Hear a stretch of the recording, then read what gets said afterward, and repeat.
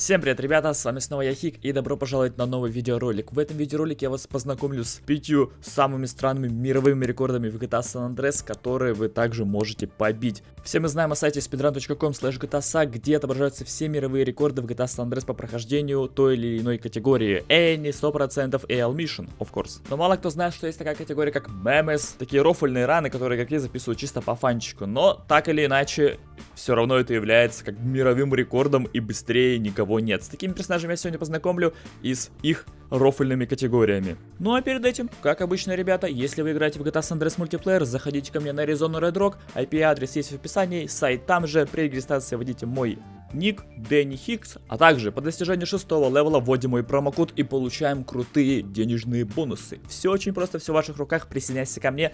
Но мы с вами начинаем этот безумный сношибательный видеоролик, погнали. А вы знаете, что такое безумие? Безумие это пройти GTA San Andreas за 3 часа, 2 минуты и 31 секунду. Но в чем же здесь подвох, спросите вы? А дело в том, что обладатель столь шикарного времени парень под ником Кеннерд. И сделан это с дополнительной программой, которая позволяет без телефонных звонков дублировать миссии. Кто бы что ни говорил, какая бы GTA San Andreas являлась нелинейной игрой, это далеко не так. Потому что в миссиях существуют своеобразные ветки, после которых, проходя первую, открывается вторая. Вот, к примеру, ветка синдиката Лока в Сан-Фьеро. Кеннеру всего-то нужно пройти миссию Тибун Madness дважды, чтобы пропустить миссию Майка Тарина. И для этого он использует утилиту под названием On Mission Changer, которая позволяет во время миссии начать ее дважды.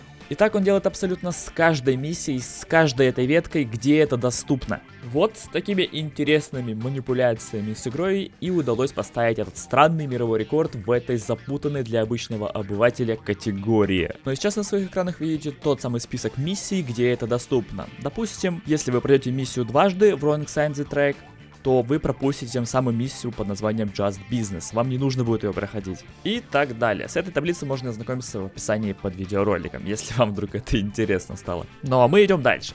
А вы когда-нибудь задумались пройти GTA San Andreas максимально быстро, используя все прелести игры, которые оставили нам разработчики? Говоря о прелестях игры, я имею в виду всеми любимые забавные чит-коды. А ну давайте смелее поставим лайк под этим роликом все, кто когда-либо вводил чит-код GTA San Andreas. А вот парень под ником Вузи прошел GTA San Andreas за какие-то 48 минут и 53 секунды. И при этом он использовал чит-коды, которые ему и помогали добиться такого результата. Изначально непонятно, играл парень то ли на Android платформе, то ли на ПК, но одно я знаю точно, что на Android есть чит-код, который позволяет пройти миссию, при этом ее не выполняя вовсе.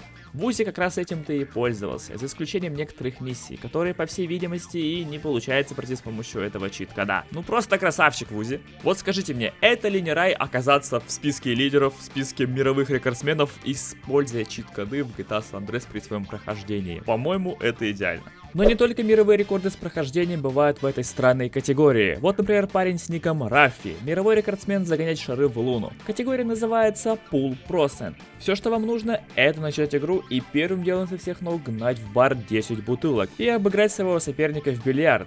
Вы не поверите, но Рафу удалось это сделать всего за каких-то 40 секунд. Самое забавное, что это он сделал с первого своего хода. Даю вам пищу для размышления в комментариях, то, как ему это удалось. А самый первый, кто разгадает, как он это сделал, я закреплю его комментарий под этим видеороликом. Пускай будет так, а мы идем дальше. Как вы думаете, что нужно для того, чтобы запикапить девочку в GTA San Andreas, при этом используя одно банальное ничего? Чувак под ником Рафи, уже не нуждается в представлении подобный персонаж, он также является лидером категории Hacker, то есть, ну, проститутку. Он снимает GTA San Andreas, быстрее всех это делает. Я не знаю, как ему это удается. То шары загоняет, то проституток быстренько клеит. 41 секунда понадобилась ему, чтобы как раз-таки начать этот самый сеанс с девушкой легкого поведения и закончить его за 41 секунду. Скорострел быстрее нет, но Рафи молодец. Даже здесь занимает это топовое место. Быстрый человек, быстрый во всем. И в бильярде, и в любви, как говорится. Ладно, идем дальше. Ну и самое, наверное, странное и забавное одновременно, это мировой рекорд в 4 секунды и 800 миллисекунд. Как вы думаете, что это может быть такое в GTA San Andreas?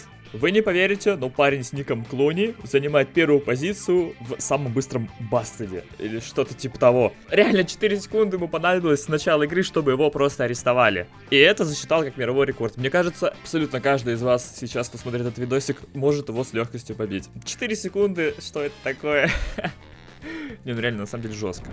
Вот такой, ребята, видеоролик получился. Если он вам понравился, не забудьте поставить лайк под этим видео, написать какой-нибудь комментарий, а самое важное, это подписаться на канал. Давайте уже добьем 100 тысяч подписчиков. Мне было очень приятно, что вы поддержали меня, подписались, и мы добились с вами этой крутой цифры. Ну а с вами был Хик. Всем хорошего настроения, всем удачи и до новых видеороликов.